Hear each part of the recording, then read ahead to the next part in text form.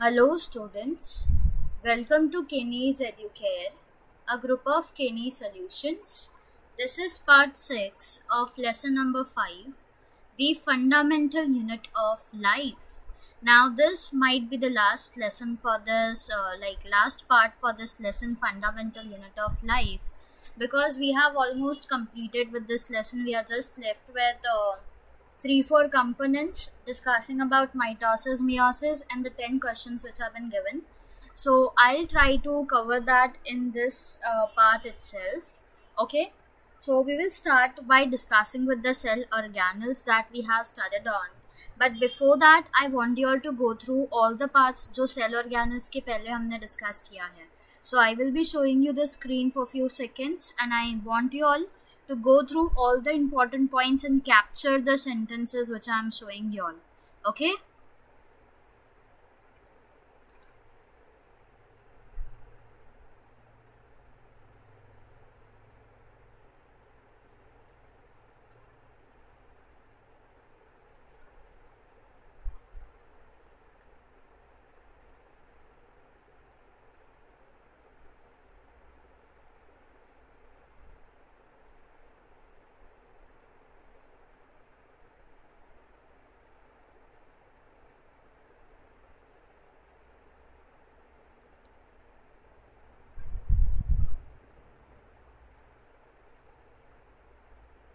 Now, this activity also plays a very important role in your textbook because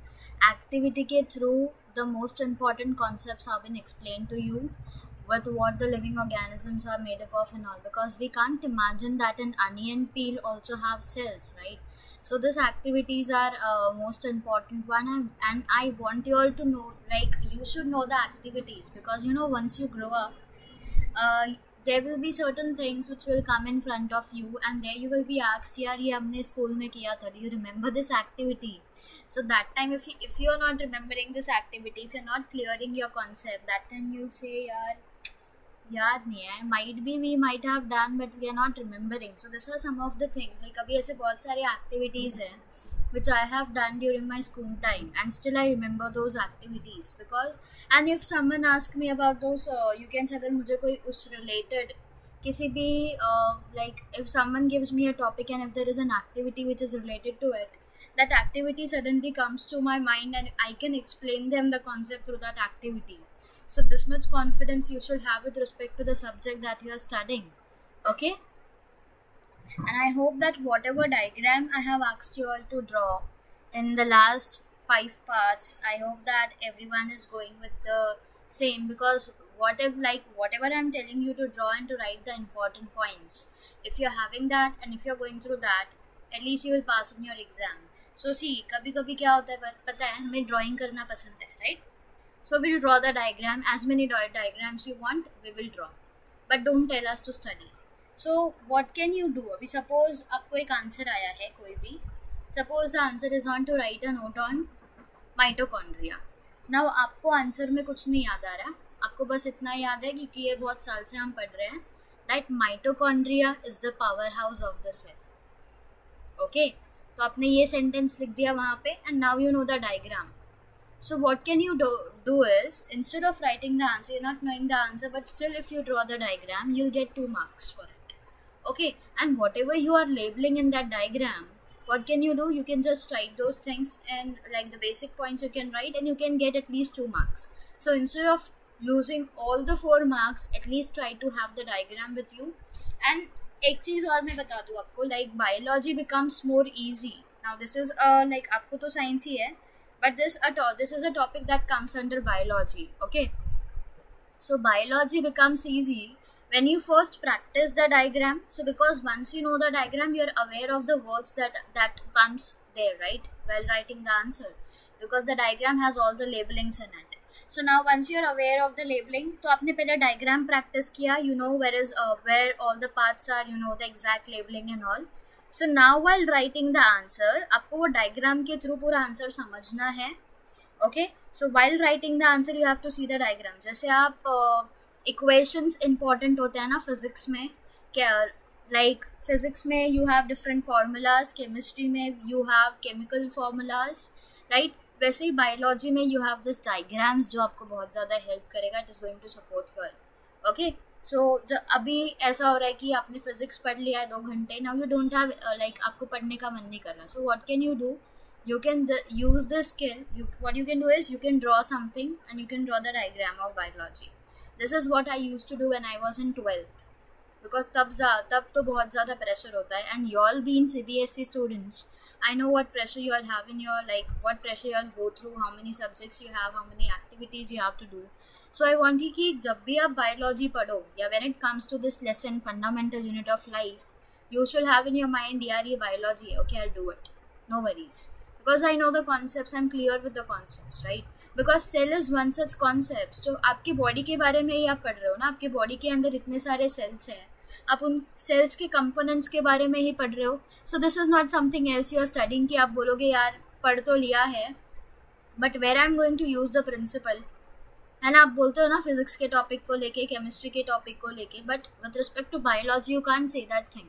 because आप खुद के बारे में स्टडी कर रहे हो and studying about yourself I like it is very much difficult to study when it comes to studying about ourself ना हम खुद को बहुत ज़्यादा लाइटली लेते हैं we don't study but if your education system is providing yourself the same thing you don't have to study extra about yourself बस आपको ये पढ़ना है बायोलॉजी में कि how is your respiration occurring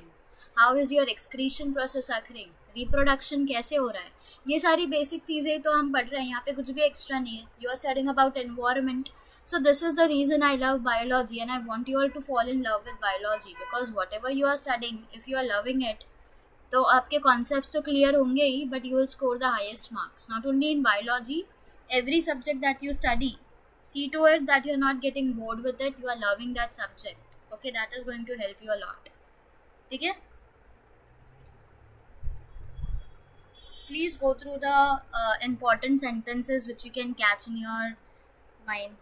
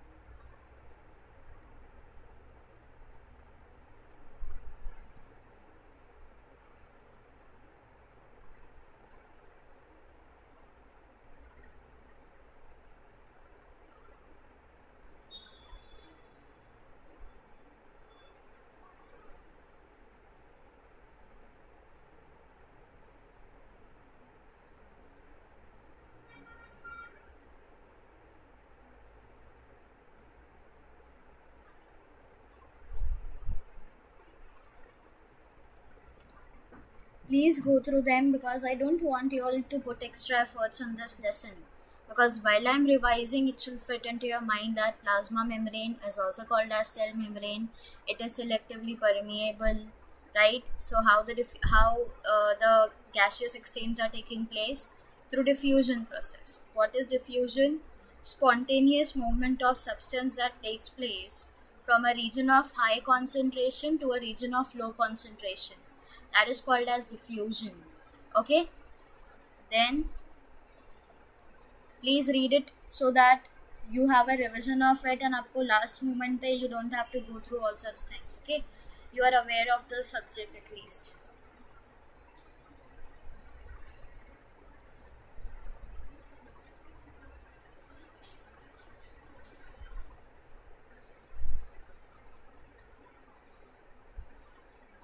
So here while discussing on plasma membrane and cell membrane, we have discussed on diffusion, we have discussed on osmosis. So I hope you have taken a note of it what exactly diffusion is and what exactly osmosis is. So you need to revise that now itself, okay?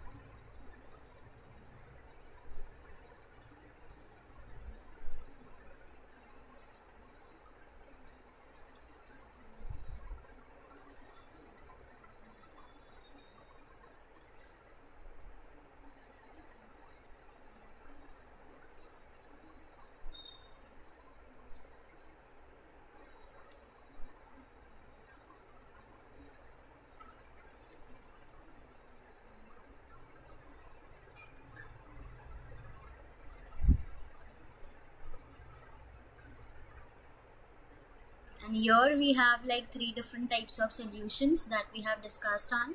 hypertonic solution isotonic solution and hypertonic solution so hypotonic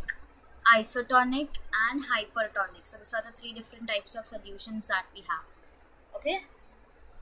please go through the definitions the first point is about the hypertonic solution second point is about the isotonic solution and the third point is with respect to the hypertonic solution okay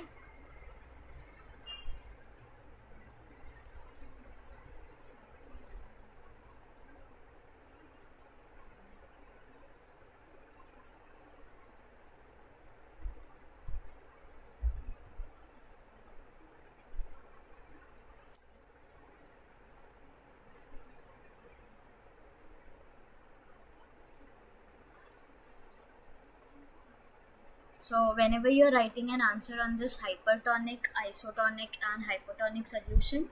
you need to draw this diagram as well. So hypertonic mein aap show karoge the cell is shrinking. It means the water content from inside the cell is uh, is moving out outside the cell. Isotonic may nothing is happening because the there is no net movement of the water which you can see because the concentration of water inside the cell as well as the concentration of the water outside the cell they, that is equal so we call that type of solution as isotonic solution okay and then we have this hypotonic solution jahan pe aap dekhoge the cell ke andar from outside environment the water is entering inside the cell and that is the reason hypotonic solution mein the cell ka size jo hai that swells up the the you can say that the cell is swelling up okay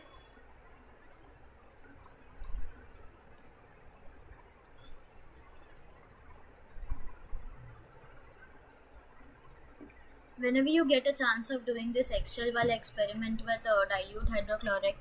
do try to perform this. You will enjoy doing this activity. Okay, if possible, like uh, if you have your uh, science lab, then uh, might be possible that they might show you and uh, like in the lab. You'll not get to perform it, but you will get to see this. Okay. And with resins, though, you can do this at your house only you just need this salt solution चाहिए हाँ resins के लिए या you have to keep the raisin in water and बाद में उसको निकाल के सॉल्ट सोल्यूशन में डालना है तो you will see how the raisin is shrinking and how every and how it is swelling up ठीक है स्वेल कब होगा वाटर के अंदर जाके the raisin will swell up and shrink up hoga when you put that in concentrated salt solution you will see that the resin will shrink this is because of the osmosis process okay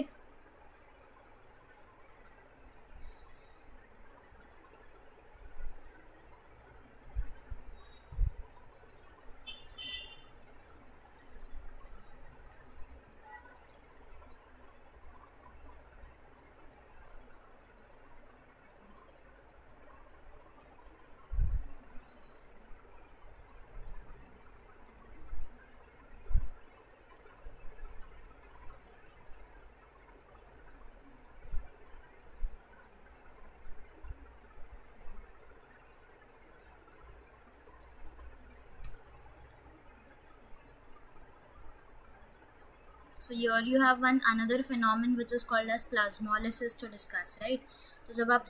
जब आप plasma membrane की बात करोगे plasma membrane में we have diffusion and osmosis process to discuss and when we are discussing on cell wall we have this plasmolysis to discuss okay then this is another activity that हमने discuss की थी so I hope you remember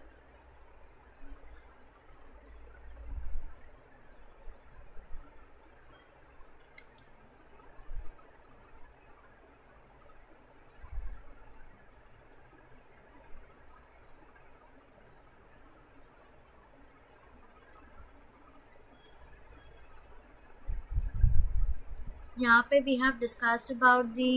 you can say prokaryotic prokaryotes and eukaryotes so you might have come to know about the prokaryotic DNA and not prokaryotic DNA prokaryotes and eukaryotes के बीच का differentiation आपको पता चला होगा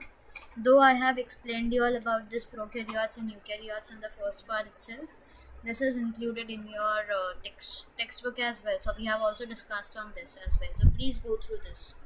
you should know what a chromatin material is you should know what a chromosome is you should know what a dna is and what the chromosome is made up of okay and you should know what prokaryote is and what eukaryotes are okay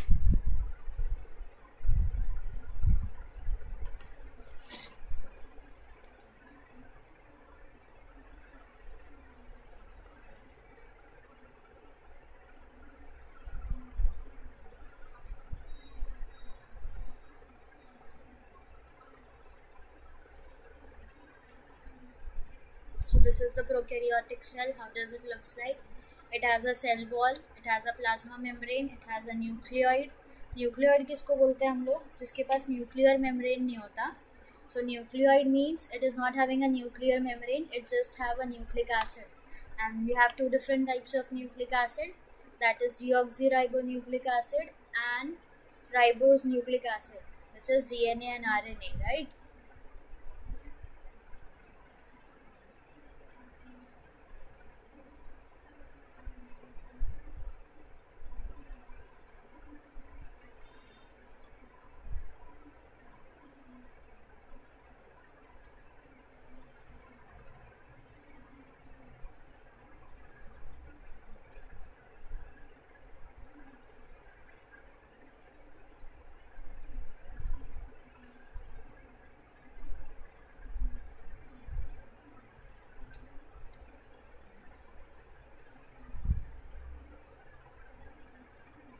cytoplasm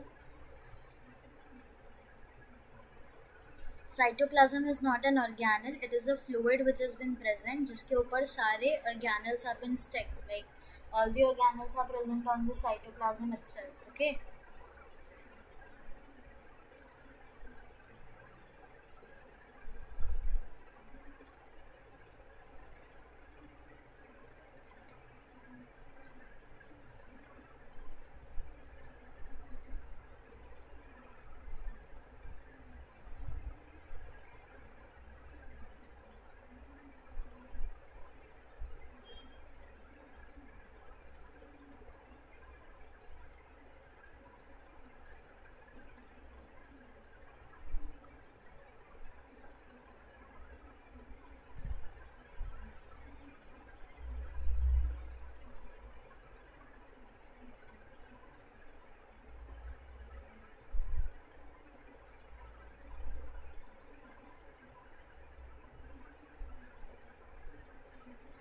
so we have discussed on different cell organelles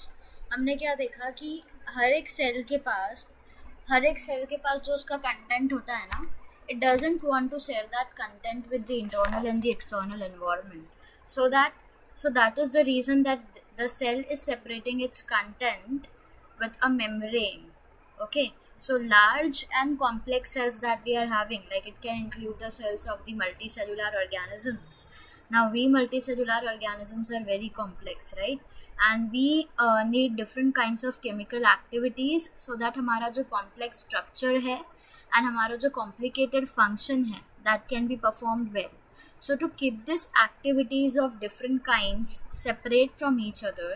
हमें क्या चाहिए we need membrane bound little structures that is we need different cell organelles and this is one such features of eukaryotic cell because prokaryotic cell do not have membrane bound cell organelle only eukaryotic cells have this membrane bound cell organelles okay तो हमने nucleus के बारे में पहले ही discuss कर लिया है so nucleus is also one such cell organelle that we have along with nucleus the different types of cell organelles that we have in our cell is endoplasmic reticulum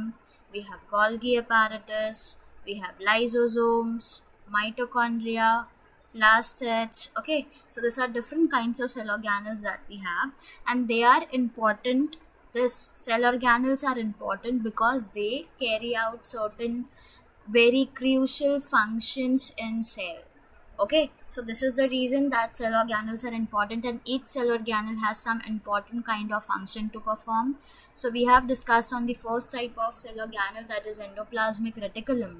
which is a network of membrane bound tubes and sheets क्या है ये endoplasmic reticulum is a network of membrane bound tubes and sheets and you will see that ये endoplasmic reticulum it looks like a long tubule or you can say it is round or oblong bags which are present so this endoplasmic membrane it is going to be similar in structure to plasma membrane itself and we have two different types of endoplasmic reticulum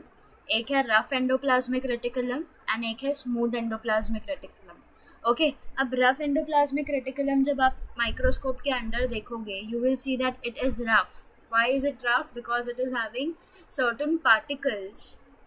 which are called as ribosomes which are attached to its surface okay अब ये ribosomes जो है वो सारे active cells के अंदर present होते हैं because this ribosomes they are the site for protein synthesis and the manufactured protein that we get from this ribosome हम उसको cell के अलग अलग sites तक पहुँचाएंगे as the cell needs them depending upon the need of the cell this manufactured proteins are sent to various places using this endoplasmic reticulum itself and जो हमारा smooth endoplasmic reticulum है वो fat molecule lipids ये सब के manufacturing में help करता है which are important for the cellular function okay so some of the proteins and lipids that we have they are going to help us in building the cell membrane and this process we call it as membrane biogenesis क्या बोलते हैं हम इसे membrane biogenesis okay and some of the proteins as well as lipids they also function as enzymes and hormones. And although this endoplasmic reticulum, if you see that, it varies very greatly with respect to uh, the appearance which we see in different kinds of cell. It is going to form a network system. Kya form karega wo? Network system form karega. So one function of endoplasmic reticulum is to serve as a channel so that it can transport different materials and here the different materials especially it is going to be protein okay between the various regions of cytoplasm or between the cytoplasm and the nucleus. Okay, so here the endoplasmic reticulum is going to function as a cytoplasmic framework and this cytoplasmic framework it provides a surface for the biochemical activities of the cell. So in the liver cell if we see liver cells when we see of this group of animals which we call them as vertebrates this smooth endoplasmic reticulum they play a very crucial role. So, what are they going to do here? They play a very crucial role where they are going to detoxify many poisons as well as drugs. क्या detoxify करेंगे वो poisons and drugs को okay? So, I hope you have drawn the structure of animal cell and plant cell.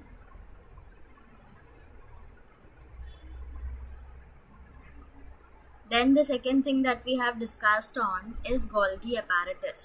तो Golgi apparatus पहले किसने describe किया था It was first described by Camillo Golgi and it has a system of membrane bound vesicle. क्या है यहाँ पे It has a system of membrane bound vesicle जो parallelly arranged होता है stacks में and with that stacks are called as cisternae.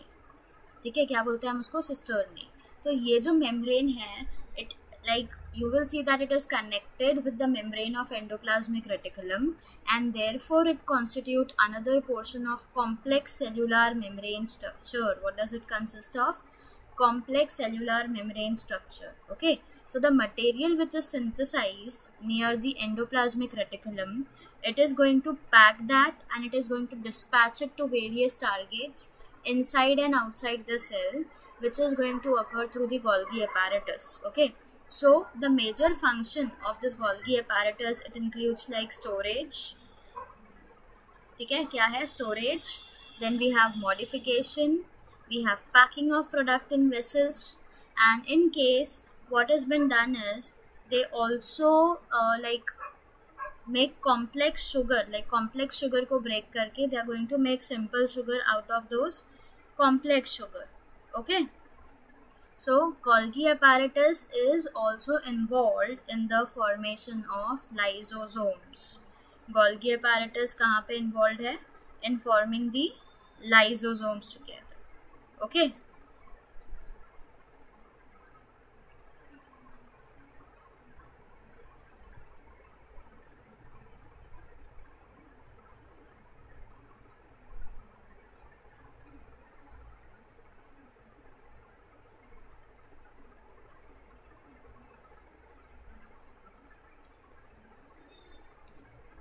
then we discussed on this Camillo Golgi where he he has uh, like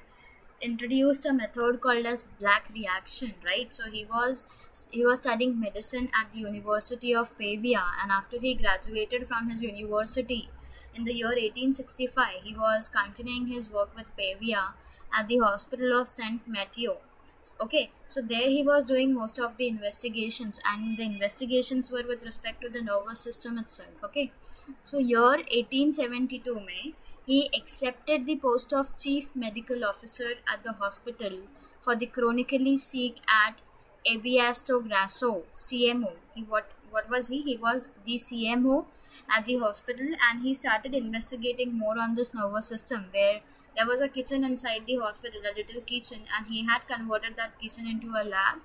And because of the greatest, the work that he has done it was of greatest importance. The Golgi, he carried out some revolutionary method where he had developed some staining individual nerve. So he has given us a method where we can now even stain the individual nerve and the cell structure and this method of this Golgi we refer to as the black reaction. So here in this black reaction we are going to use the weak solution of silver nitrate. Okay, क्या use करेंगे हम silver nitrate and is particularly valuable in tracing the processes and most delicate ramifications of the cell. So all through his life Golgi continued to work on these lines where he was modifying and improving this technique which he had developed. So Golgi he received his highest honors and awards in recognition of his work and also he shares a Nobel Prize in the year 1906 with Santiago Ramon Cajal for the work on the structure of the nervous system. Okay. After that हमने lysosomes के बारे में discuss किया है and remember one sentence about lysosomes that lysosomes are the suicide bag of suicide bag of a cell why because जैसे ही हमारे cell के अंदर कोई भी फॉरन मटेरियल आता है and lysosomes find that that the cell is getting damaged so what happens lysosome is going to burst itself and the enzyme which is present there it is going to digest their own self okay okay, क्या होगा यहाँ पे enzymes are going to digest their own cell and therefore हम lysosomes को suicide bags भी बोलते हैं so if you see lysosome का structure if you see it structurally lysosomes are membrane bound sac which are filled with digestive enzyme क्या है lysosomes they are membrane bound sac and this membrane bound sacs they are filled with digestive enzyme okay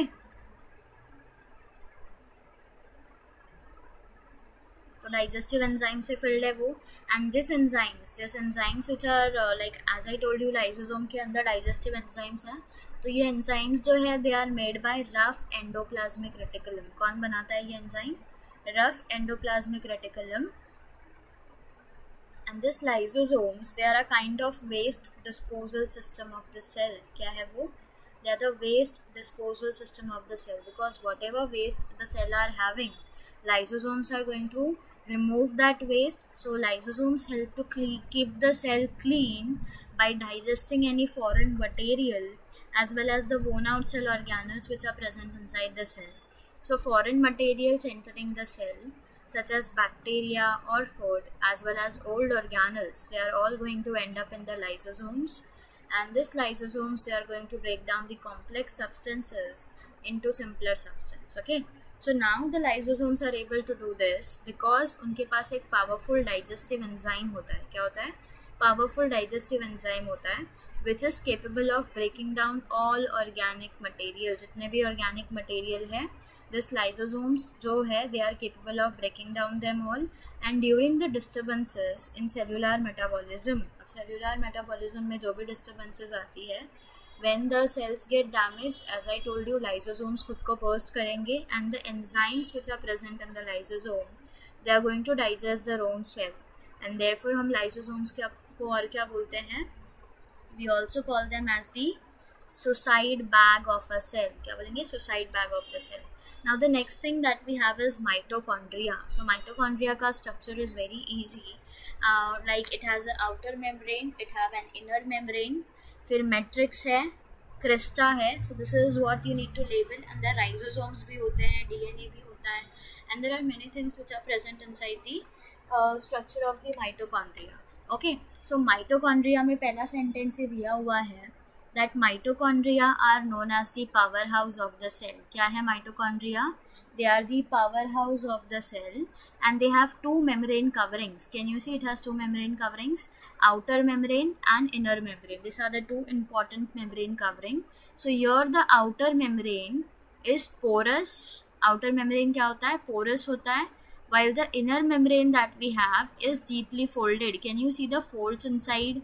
the mitochondria? So inner membrane is going to be deeply folded but the outer membrane is going to be porous. Okay. So the folds which are present inside the mitochondria, it increases the surface area. Now why there are folds? क्योंकि उससे क्या होगा हमारा surface area increase होगा for this ATP generating chemical reaction. Now we have different kinds of ATP generating chemical reactions which takes place and for that we need to increase the space and the foldings are because of this reason only that the surface area will get increased and indirectly what happens is हमारा जो ATP generating chemical reaction है that is also going to increase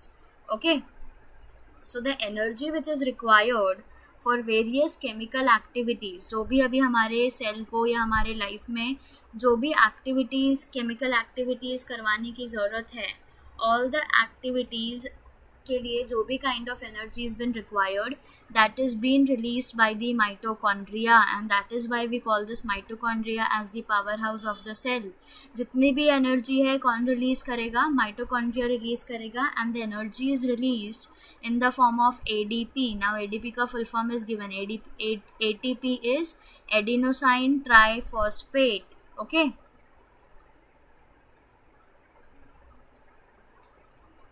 Now always remember mitochondria is the powerhouse of the cell and ATP is the energy currency of the cell. Now many people get confused with this energy currency of the cell and powerhouse of the cell. So mitochondria को हम powerhouse of the cell बोलते हैं and ATP is known as the energy currency of the cell because mitochondria is going to release the energy in the form of ATP. Okay, तो हमारा जो body है वो इस एनर्जी को store करेगा like the body uses energy which is stored in this adenosine triphosphate so that it can make new chemical compounds for mechanical work अब अलग अलग नए केमिकल कंपाउंड्स फॉर्म करने के लिए as well as the mechanical work should go on right so our body is going to use this stored A T P which we are having which is been given to us by our mitochondria okay So mitochondria, they are strange organelle in the sense that they have their own dna and ribosome mitochondria kya hai wo strange organelles hai कैसे sense में क्योंकि mitochondria के पास खुद का DNA है और खुद का राइबोसोम भी प्रेजेंट है and that is why mitochondria जो है वो अपना खुद का प्रोटीन भी बना सकता है because for making our own protein ribosome is the side for protein synthesis right and because mitochondria is having its own ribosome it can synthesize its own protein as well now I want you'll to write this two statements which have been given First is mitochondria are known as the powerhouse of the cell. And the second statement that you need to write is ATP is known as the current energy currency of the cell. And you will not write ATP, you will write adenosine triphosphate in bracket write ATP is known as the energy currency of the cell. I'm giving you one minute to write this. Okay.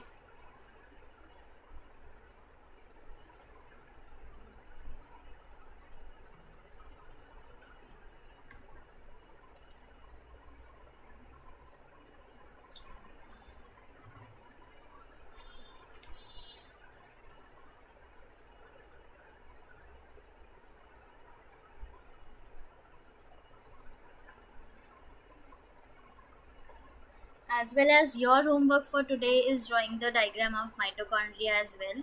two times now see mitochondria इतना ज़्यादा difficult भी नहीं है आपको बस लिखना है कि दो membrane है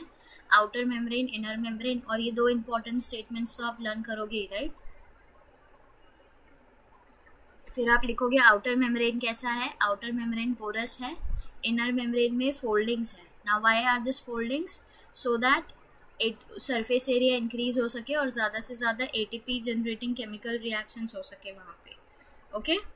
एंड हमारे हमें जो भी हमारे सेल्स को जो भी एनर्जी की रिक्वायरमेंट होती है for carrying out the chemical activities the energy is given given by the mitochondria it's in the form of A and A is the energy currency of the cell okay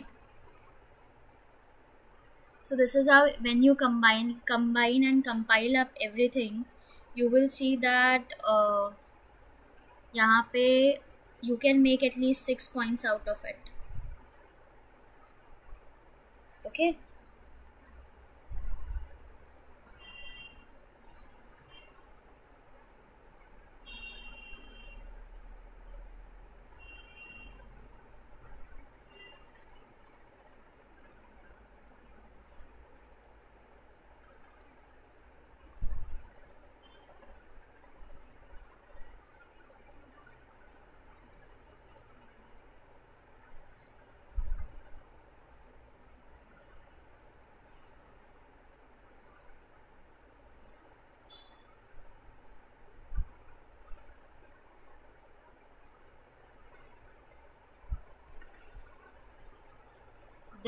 after mitochondria the next thing that we have to study is plastids okay now ye plastid ka structure hai and if you can see this yellow part that is called the inner membrane okay fir second labeling that you have this is the inter membrane space okay then you have the third one as outer membrane to ye to cheez teeno easily yaad ho jayegi you have an inner membrane you have an outer membrane and between the inner and outer membrane you have one more membrane which is called as intermembrane space okay now this fourth thing that you can see that is the stroma kya hai wo stroma now the coin line thing that you can see that is called as thylakoid ye kya hai coin jaisa jo aapko dikh raha hai na इनको हम बोलते हैं thylakoids and this six one जब एक साथ आप coins रखते हो छः सात कॉइन्स जब एक साथ रखोगे then that is called as lamella क्या बोलते हैं हम उसको lamella so this is the structure of chloroplast which is been given and ये प्लास्टिक्स के अंदर ही आता है okay and always remember that the animal cells are not going to have this plastids so plastids कहाँ पे present होगा plastids are present only in the plant cell and mentioning this statement is very much important okay plastid kahan pe milega can we get plastids in the animal cell no we can't get plastid in the animal cell plastids are only present in the plant cell okay after that we have two different kinds of plastids kitne do type ke plastids hote हैं hamare paas ek hai chromoplast chromo means color okay so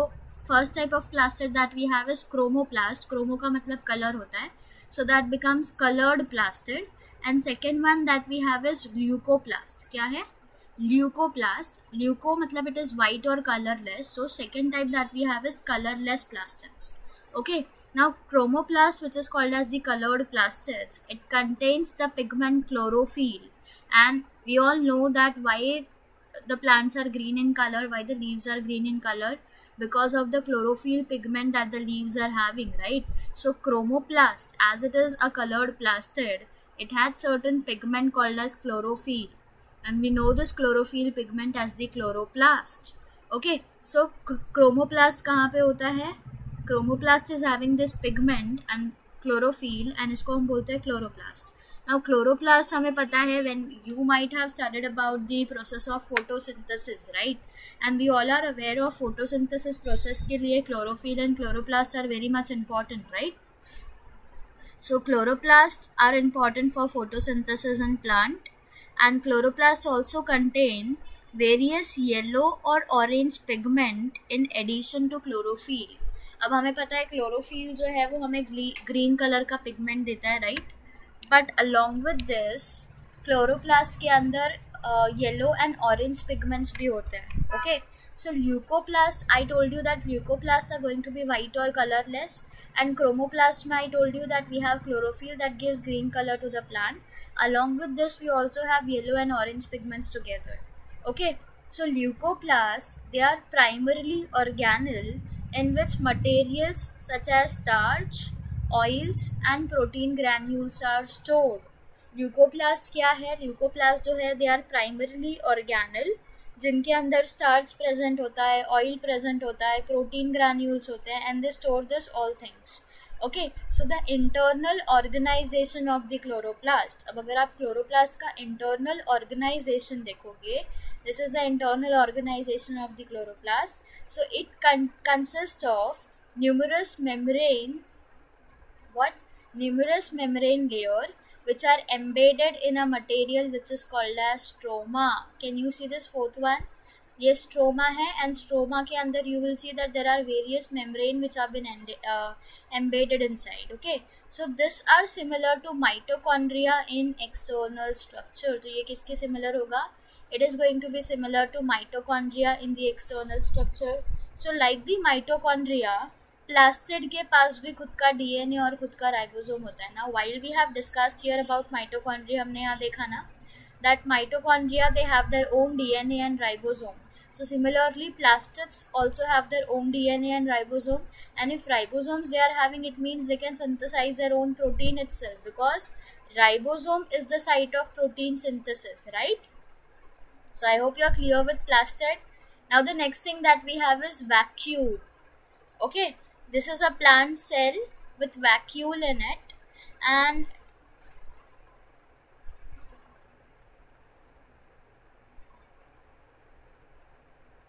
wait okay so this is the plant cell with vacuoles in it now you know what is chloroplast you know what is mitochondria you know what is rough endoplasmic reticulum you know what is nucleus nucleolus nuclear envelope cell wall पता है आपको smooth endoplasmic reticulum पता है ribosome पता है Golgi apparatus पता है plasma membrane पता है एंड साइटोप्लाज्म पता है so most of the things which are been labelled your in the plant cell you are aware of it you are aware of the function that they are performing right so can you see in the centre you have a large vacuole so vacuoles क्या करते हैं vacuoles are storage sac for solid और liquid component or content so whatever solid content or whatever kind of liquid content that we have where it is stored it is stored in the vacuole okay so so, vacuoles अगर आप animal cells में देखोगे यहाँ पे ये plant cell का diagram में आपको वैक्यूल शो किया है सो प्लांट सेल्स जो है they have a very large vacuole but as you compare it with the animal cell animal cell के पास जो वैक्यूल होता है दे आर स्मॉल साइज कैसे है ये animals have small sized vacuoles and plants have large vacuoles okay so the central vacuole of some plant a plant cell ke andar beech mein vacuole hota right so the central vacuole of some plant cells they occupy 50 to 90 percent of the cell volume because vacuoles are larger in plant cell right so jo plant cell ke andar central vacuole hai uske paas cell ka fifty से ninety percent of the cell volume present होता है okay so in plant cells vacuoles are full of cell sap and they provide turgidity and rigidity to the cell ठीक है plant cell में vacuoles के पास क्या होता है they are plant cells are full of cell sap किससे full होते हैं वो सेल सैप से where this vacuoles they provide turgidity and rigidity to the cell क्या प्रोवाइड करेंगे turgidity and rigidity to the cell okay so many substances of importance in the life of plant cells they are stored in the vacuoles तो कोई भी substance अगर present है any substance which is present in the you can say plant cell उसको plant कहाँ पे store करेगा the plant is going to store that in the vacuum okay so कौन सा सब्सटेंसेस जो इंपॉर्टेंट है प्लांट के लिए and it is storing that in the vacuole so it is storing amino acid it is storing sugar then it has various organic acids it has some proteins okay so this are some of the important things that the plants use okay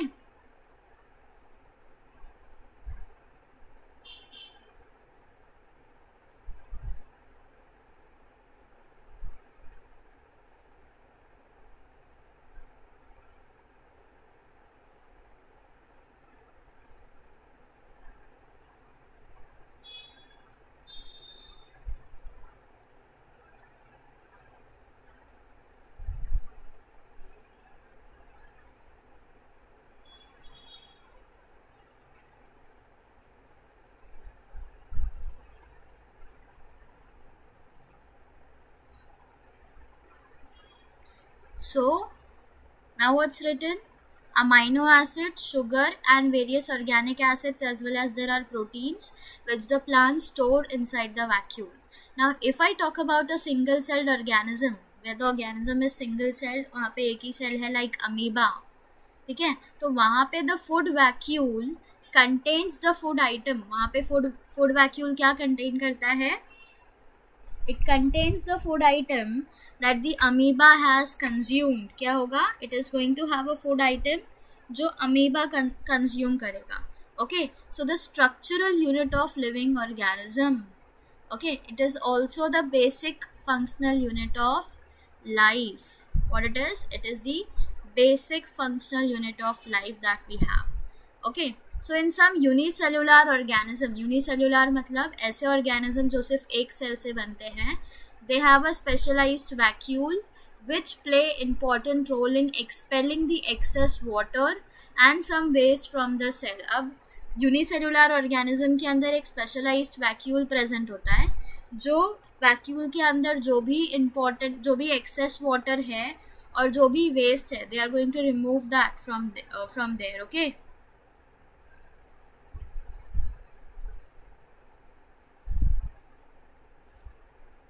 so each cell thus acquires its structure and ability to function अब हर एक cell अपना structure और ability कहाँ से acquire करता है how it is able to function because of the membrane because of the organisation of the membrane and organelles in a specific way because all the because the membrane that we are having that is arranged in a specific way right the organelles that are present in the cell that is also arranged in a specific way so how that cell is acquiring its ability to do that by because of the organization that it is having okay so cell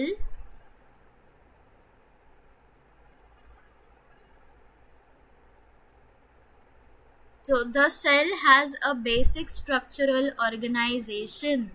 cell ke paas kya hota hai cell has a basic structural organization which is present. So this helps the cell to perform functions like now because of this basic structural organization that the cells are having what is happening it is performing some important functions like respiration obtaining its nutrition clearing of the waste material okay then forming new proteins and thus cell is the fundamental structural and functional unit of life okay i hope you are clear till here what i am uh, what i am telling okay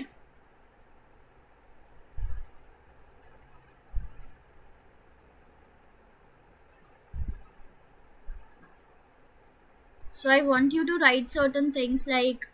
यहाँ पे दिया हुआ है the substances of importance in the life of the plant cell and you need to write this sentence first two sentence that vacuoles they are the storage sac for plants for liquid और solid content and they are small in animal cells while plant cells they have a larger vacuum okay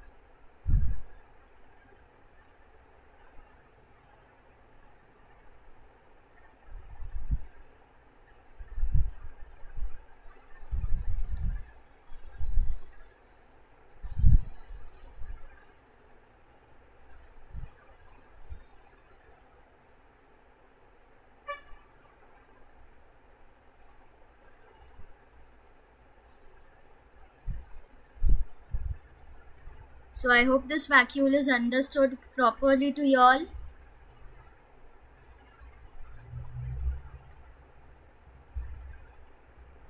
Okay, now the last part that we have for this lesson is the cell division process. Okay,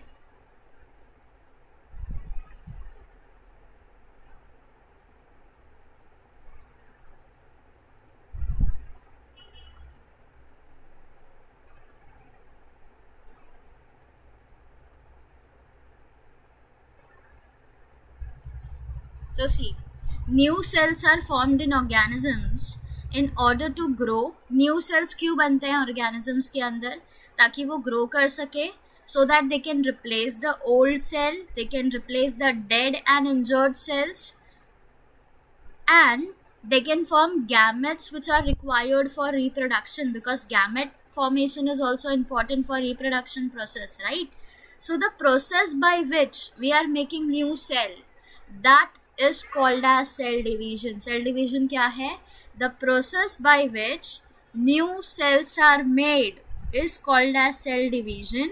and we have two main types of cell division कौन से दो type के cell division हैं we have mitosis and meiosis and this are the two important types of cell division that we have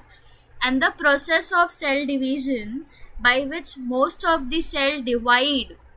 ठीक है अब ऐसा process of cell division जिससे बहुत सारे सेल डिवाइड करते हैं we call that process as mitosis और माइटोसिस में क्या होता है each cell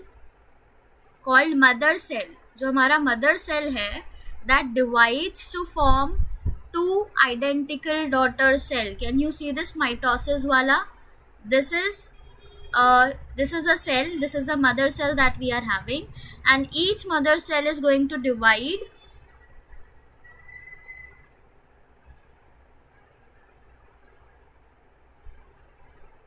okay so this is going to help us the mother cell is going to divide so that it can form two identical daughter cell can you see mitosis mein kya ho raha hai mother cell se hame do identical daughter cell mil raha hai okay and the daughter cell that we are going to get here during mitosis they are going to have same number of chromosome as the mother cell so if the mother cell is having 46 number of chromosome the daughter cells are also going to have this 46 pairs of chromosome okay so it helps in the growth and repair of tissue in the organism so you have to remember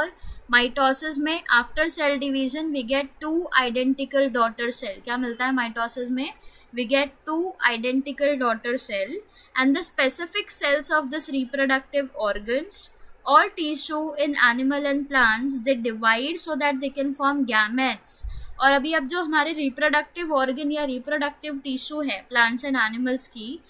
the specific cell is going to divide there and they are going to form gametes and gametes का जब fertilisation होता है it give rise to off okay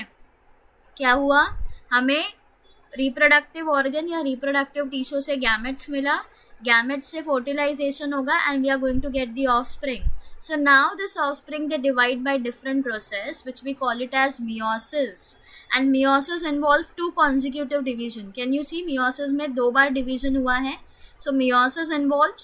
two consecutive division so when a cell divide by meiosis because दो बार cell divide हुआ है right so that is by during meiosis we get four new cell कितने new cell मिलेंगे हमें four new cell instead of just two so the new cell यहाँ पे हमने क्या देखा डॉटर सेल के पास the daughter cells are going to have the same number of chromosome like the mother but in meiosis as they are dividing twice we are getting four new cell but the number of chromosome will be half of the mother cell okay so now can you think as to why the chromosome number has reduced in half in the daughter cell why the chromosome number has reduced because यहाँ पे दो बार division हुआ है meiosis में that is the reason the number is reduce to half okay now I am going to give you a differentiation between mitosis and meiosis so that you have a clear understanding on it okay just give me one minute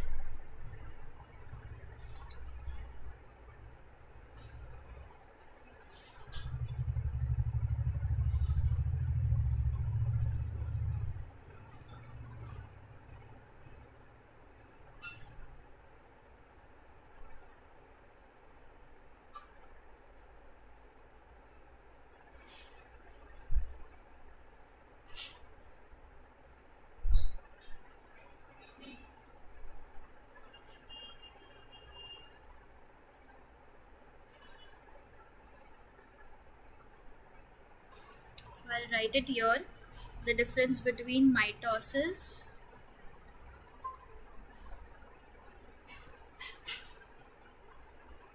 यहाँ पे I'll write about the mitosis and यहाँ पे I'll write about I'll not give you much points I'll just give you four points so that अगर कभी आपको पूछा गया in exam for two marks you can write those four points okay so you will write you should know that mitosis जो है mitosis occurs in somatic cell and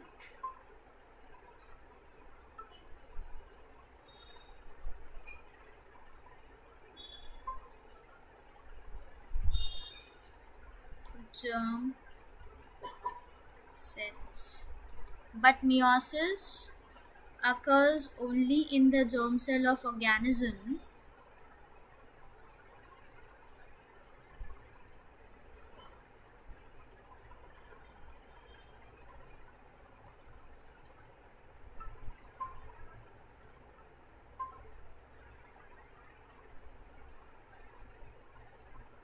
that reproduce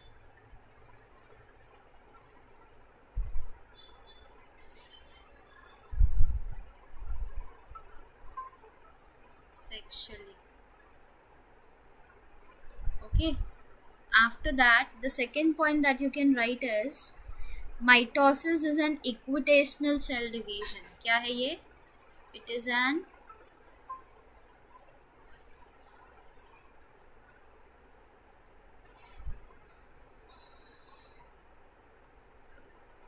equitational cell division and meiosis is a reductional cell division okay so it is reductional cell division okay after that you should know that mitosis mein two daughter cells are produced kitne two daughter cells are produced and meiosis may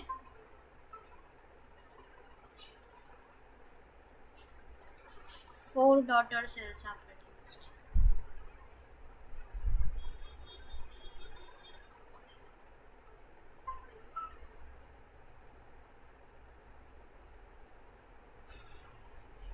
okay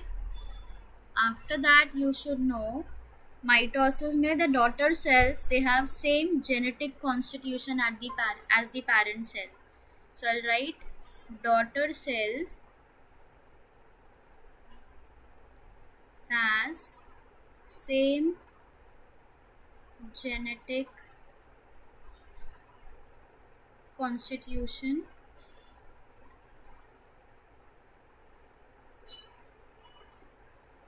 as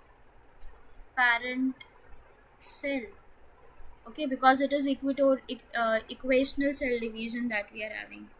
okay and here you can write that the genetic combination of daughter cell is going to be different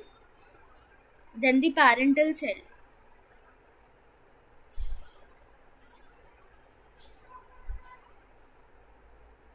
so i'll write genetic combination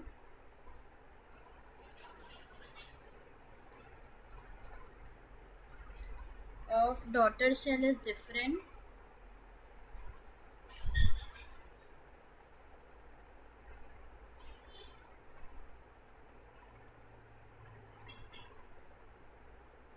then parental cell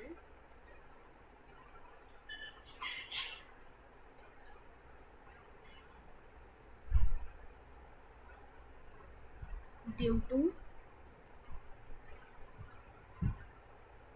crossing over okay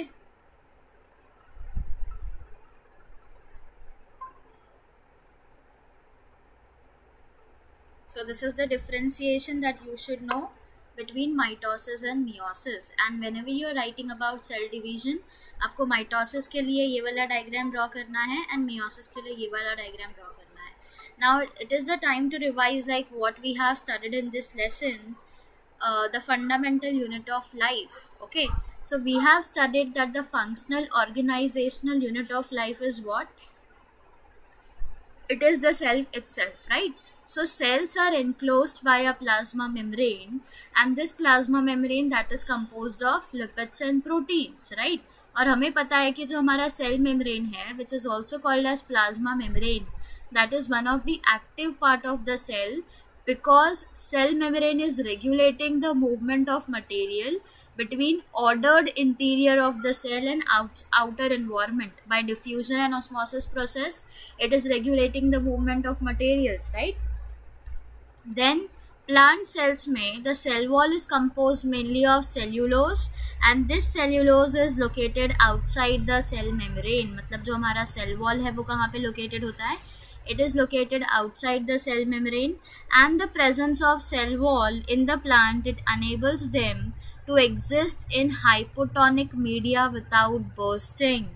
okay okay, तो हमने cell membrane पे discuss किया है cell wall पे discuss किया है then we have discussed on nucleus as well right so the nucleus in eukaryote is separated from the cytoplasm हम nucleus जो है उसको साइटोप्लाज्म से सेपरेट करते कैसे कैसे सेपरेट करते हैं by a double layered membrane and it directs the life process of the cell and what does this ER stands for ER means endoplasmic reticulum right so endoplasmic reticulum जो है वो function करता है as a passageway how does it functions it a passageway for intra intracellular transport as well as as a manufacturing surface okay and हमारे पास दो type के endoplasmic reticulum है एक होता है स्मूथ एंडोप्लाज्मिक रेटिकुलम एक होता है rough endoplasmic reticulum okay after that we discussed on Golgi apparatus which is a sac which is which consists of stack of membrane bound vesicle and Golgi apparatus का function क्या है storage modification and packing of the substances which are involve in the manufacturing of the cell right and most of the uh, cell plant cells that we have they have large membranous organelle and this large membranous organelle we call them as what we call them as plastids which are of two type we have chromoplast matlab colored plastid and the secondly we have is leucoplast which is colorless plastid so because this chromoplast is colored it contains chlorophyll and that is called as chloroplast and we all know that it is because of the chloroplast that plants can make their own food but animals cannot right so primary function jo leucoplast ka hai which is colorless plastid that is storage itself okay after that हमने vacuoles पर discuss किया where we saw that plants के पास there is a large central vacuole which is been present and that large central vacuole helps the plant is in maintaining the turgidity of the cell as well as in storing some important substances like waste okay फिर हमने prokaryotes and eukaryotes पे कुछ चीज़ें discuss की थी where we saw that the prokaryotic cells they don't have any membrane bound organelle that is why their chromosomes are compose of only nucleic acid ठीक है prokaryotic cell के पास क्या नहीं है मेम्ब्रेन बाउंड ऑर्गेनल नहीं है एंड इसीलिए उनका क्रोमोजोम जो है उसके पास सिर्फ न्यूक्लिक एसिड है and they have a very small ribosomal organelle ribosome as an organelle which is present okay उसके बाद the last topic that we have discussed is about the cell division so cells in organisms they divide why the cell division occurs For the division of the uh, growth of body for replacing the dead cells as well as for forming the gametes for reproduction and that is why cell division is important okay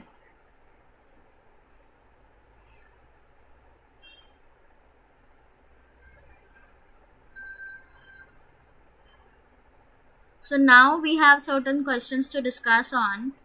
where they have asked us to write a differentiation between the plant cell and the animal cell okay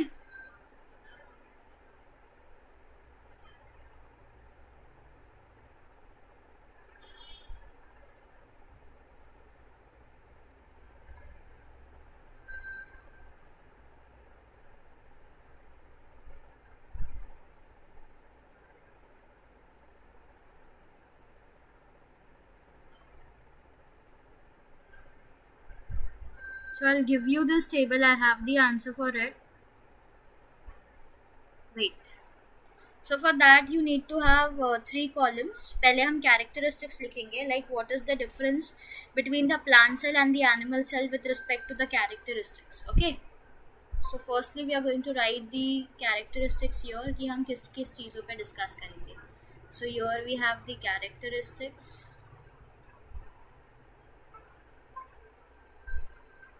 ठीक है then you are going to write the plant cell and then we have the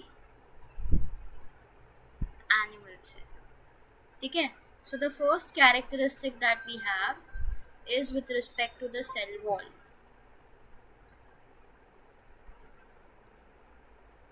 so plant में cell wall is present okay but In animal cell, the cell wall is absent. Right? So we'll write that in animal cell, the cell wall is absent. Okay, let me do one thing. I'll write all the characteristics and then we'll move on. Secondly, we have, we will be discussing about the shape of the cell.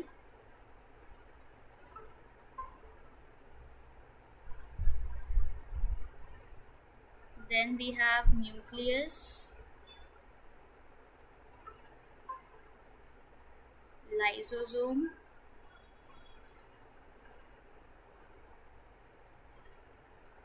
plastids and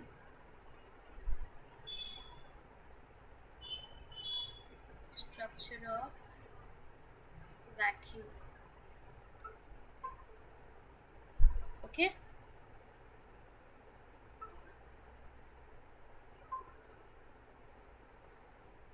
so first cell right with respect to plant cell की plants के अंदर shape of cell कैसा होता है okay so plant cell में जो shape होता है they have distinct edges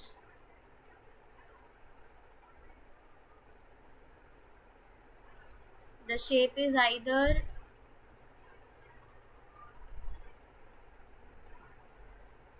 rectangular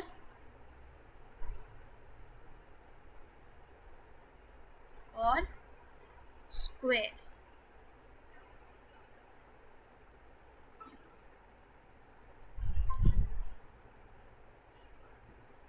then plant cell में न्यूक्लियस होता है यस प्लांट सेल में nucleus is present it lies on one side of cell ठीक है कहाँ पे रहता है it lies on one side of the cell then lysosomes plants में बहुत ज़्यादा रेयरली प्रेजेंट होता है okay when it comes to plastics plastics are present in the plants but it is absent absent in the animal cell okay and if I talk about the structure of vacuole in plant cell so plant cell के अंदर there is a single vacuole so I write single vacuole single or few large vacuole that is centrally located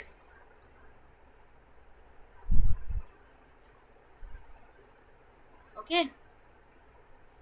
then now we are going to write about the plant cell no about the animal cell okay so animal cell may the uh, cell wall is absent then when it comes to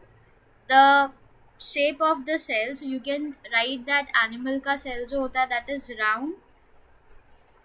and irregular shape theek hai kya hota hai round and irregular shape then with respect to nucleus the nucleus is present in the plant cell and it lies in the center theek hai lies in center of the cell after that lysosomes they are always present in the animal cell but they are rarely present in the plant cell after lysosome plastids are absent in the animal cell they are uh, present only in the plant cell and vacuoles so there are presence of numerous and small vacuole okay so this is how you can go on go on with the difference between plant cell and the animal cell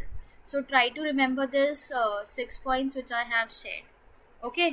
after that we have to uh, the second question that we are having is what is the difference between prokaryotic cell and a eukaryotic cell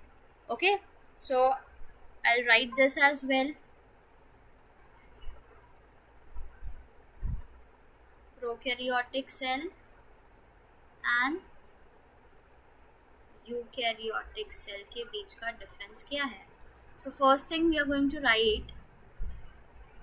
is with respect to the size okay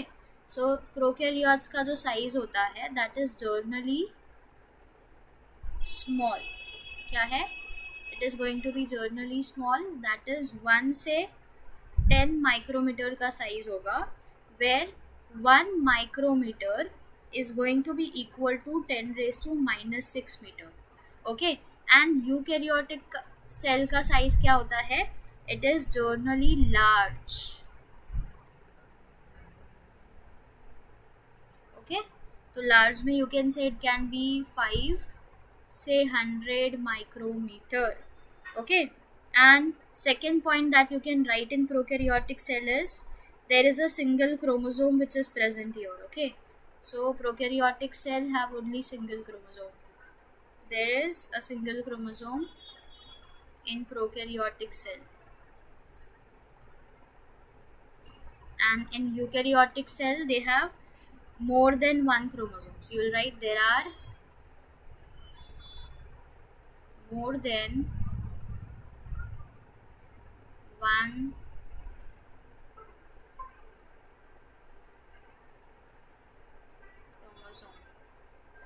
okay after that you can write with respect to prokaryotic cell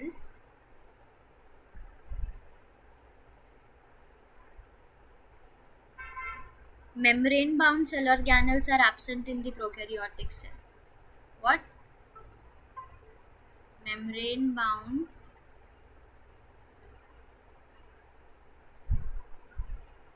cell organelle organelles are absent. Here you will write that membrane bound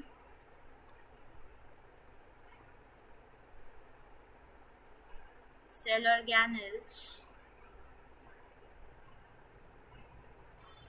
are present okay then one more last point you can write is the nuclear region is not well developed as the nuclear membrane is absent. So you can write one thing nuclear uh, membrane is absent here you can write nuclear membrane is present like that also you can go. So I'll just write sorry nuclear membrane is absent.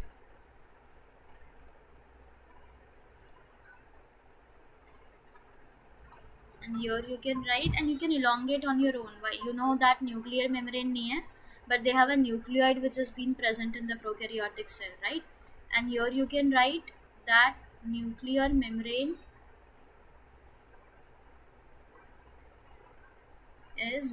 present or it is well defined as well okay so i hope you know the differentiation between prokaryotic and eukaryotic cell now right ये हमने पहले भी discuss किया that is why am not discussing it much okay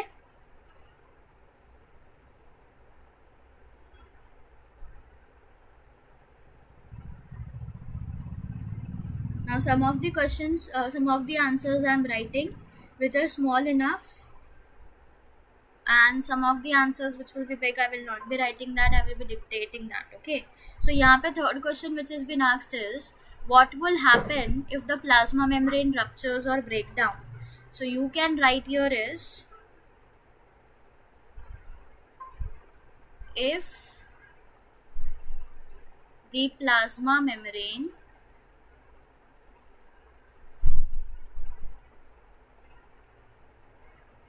ruptures or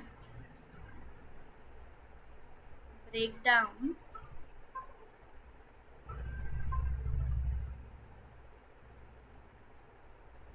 then molecules of some substance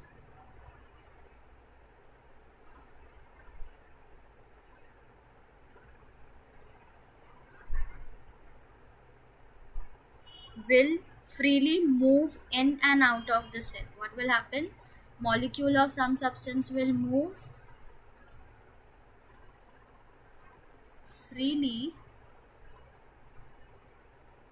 in and out of the cell.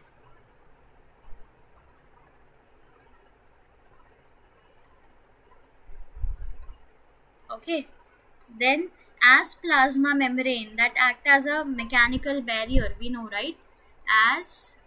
plasma membrane which is also called as cell membrane as plasma membrane act as a mechanical barrier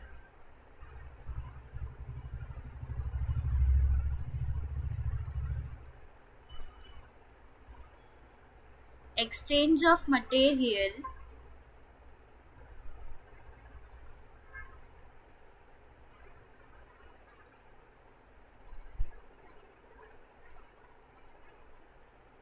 from its surrounding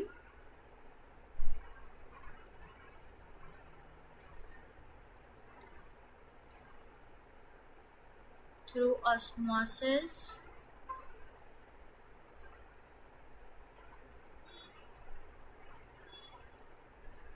or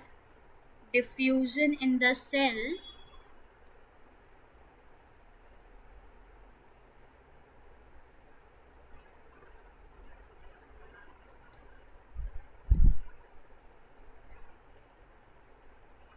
won't take place right because हमने जब plasma membrane पढ़ा था तब हमने वहाँ पे osmosis and diffusion discuss किया है so if the plasma membrane is rupturing तो वहाँ पे diffusion process भी नहीं होगा osmosis भी नहीं होगा so consequently what happens is consequently the cell will die okay the cell will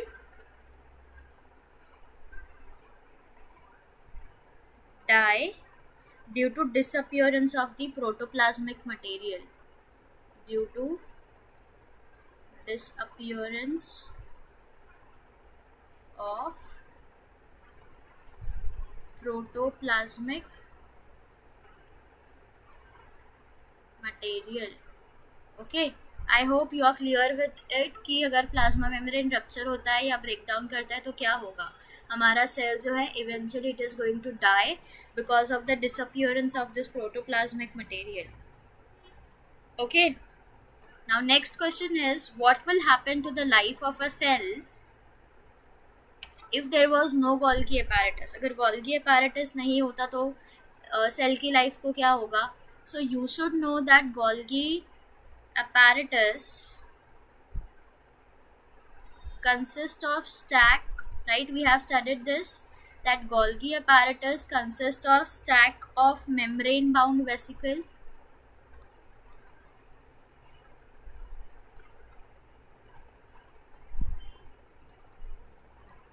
whose functions are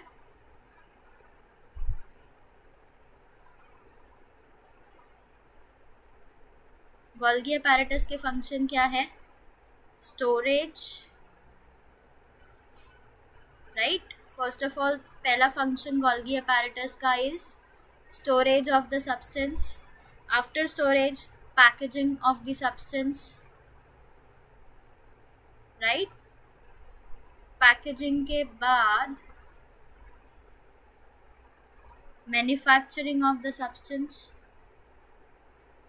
right this are the functions of the Golgi apparatus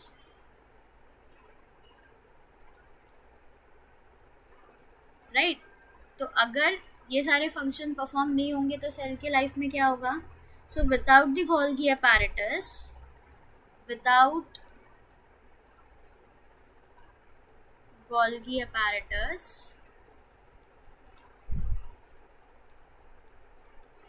cell will be disabled from packing and dispatching the material which are been produced cell will be disabled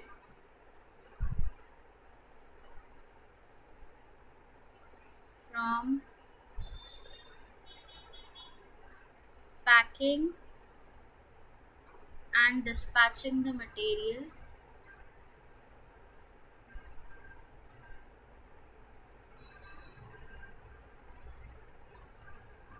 that are produced by the cell.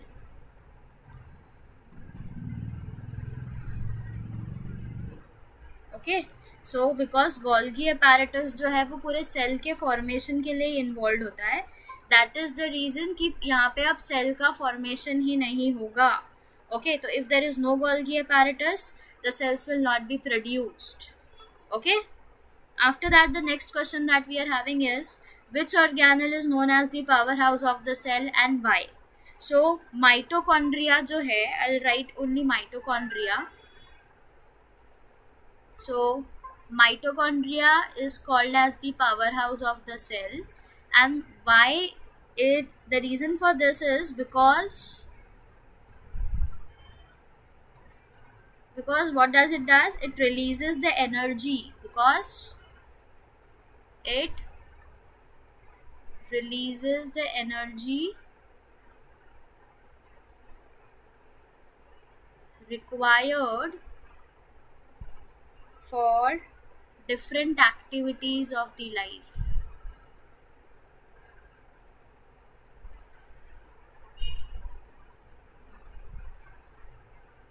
in the form of ATP right ATP stands for adenosine triphosphate and the short form for this is ATP right so it is very much important for performing several chemical activities of the life as well and I'll write here that ATP is referred to as what do we call ATP as energy currency of the cell right energy currency of the cell okay now see the next question that we have is where do the lipids and proteins who are constituting the cell membrane they get synthesized so they get synthesized in the endoplasmic reticulum kahan pe synthesize hote hain lipid and protein wait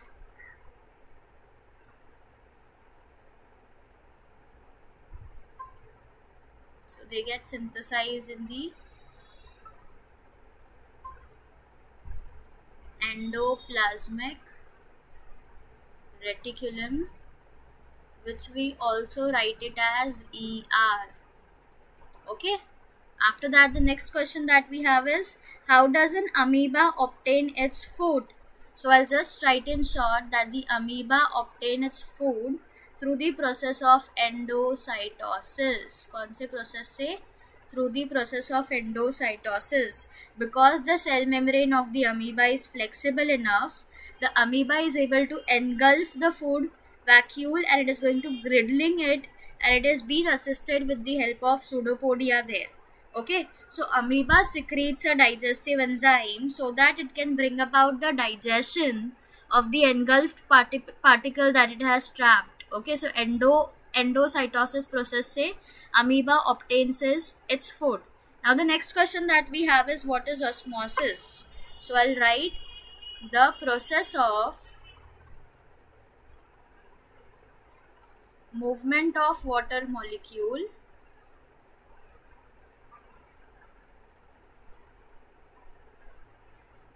sorry the process of movement of water molecule from a region of higher concentration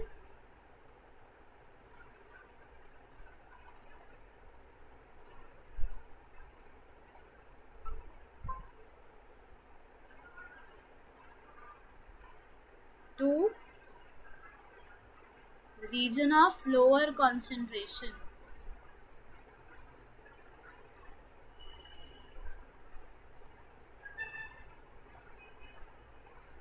Through a semi-permeable membrane.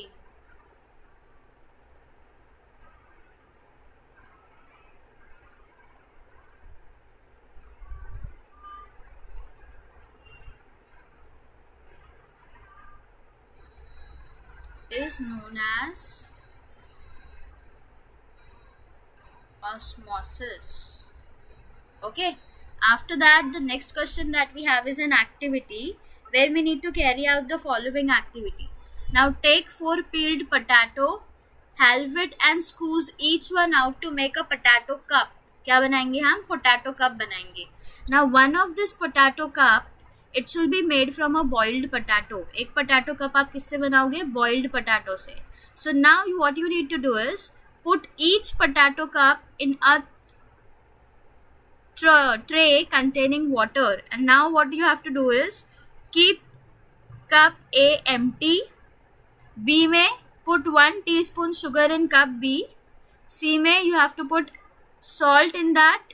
then D में fourth one में you have to add one teaspoon of sugar in the boiled potato cup D okay अब आप ये चारों चारों potato tube को आप रख दोगे टू आवर्स के लिए have to keep that for two hours and after two hours you have to observe the following potato cups and you need to answer this question now explain why water gathers in the hollowed portion of the B and C D और C जिसके अंदर आपने sugar and salt डाला था उसमें water gather क्यों नहीं हुआ है बिकॉज वाटर एक्यूमुलेट्स वहाँ पे गैदर होगा there the water gets accumulated in that hollowed portion of B and C because of the difference in water concentration okay that is the reason वहाँ पे water जाके एक्यूमुलेट होता है okay second question is why is potato A necessary for this experiment हमें एक empty cup क्यों रखना है because we are going to have that as you can say result हमें पता चलेगा उसके डिफरेंस के बेसिस पे ही right right? So you can say potato A is essential for this experiment because it is significant to compare the different scenarios which occur in potato B, potato C and D may. So potato A is going to show that the potato cavity on its own cannot bring about the water movement. Water ka movement nahi hota khali cup में. So water to wahan pe salt and sugar they are responsible for bringing out the movement of the water. So that is why cup A is important. Okay. Now the third question is explain why water does not gather in the hollowed cup portion of A and D. अब A और D में जहाँ पे अपने empty cup रखा है and D में जहाँ पे अपने boiled potato cup के अंदर sugar डाला है वहाँ पे water जमा क्यों नहीं होता Because cup A doesn't show any change because वहाँ पे water flow ही नहीं हो रहा and we know that अगर osmosis होने के लिए we need concentrations from higher than the other cell right और कप डी की बात करें तो वहाँ पे जो सेल्स है in the cup D they are dead because there is no existence of semi permeable membrane for the water flow cup D के अंदर कोई सेमी परमिएबल मेम्ब्रेन ही नहीं है and that is why there osmosis is not going to occur okay now the last question that we have is what type of cell division is required for growth and repair of the body and which type is involved in the formation of the gamete okay so हमें पता है cell division दो type का होता है कौन से type का होता है cell division we know we have two types of cell division okay and what are they first we have is mitosis and second type of division that we have is meiosis so mitosis में क्या होगा mitosis is involved with the growth and repair of the body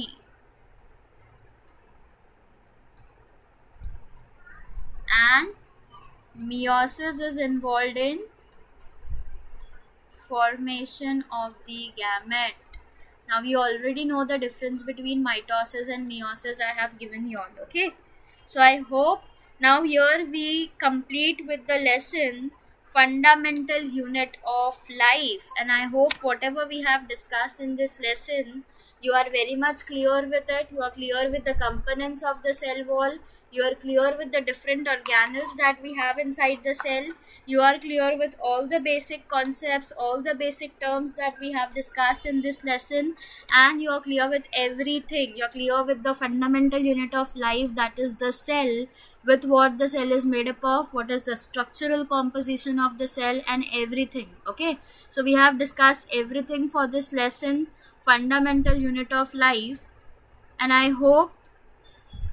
that everyone is clear with it okay so here we complete with this lesson fundamental unit of life in the next part we are going to start with the uh, with the next lesson thank you everyone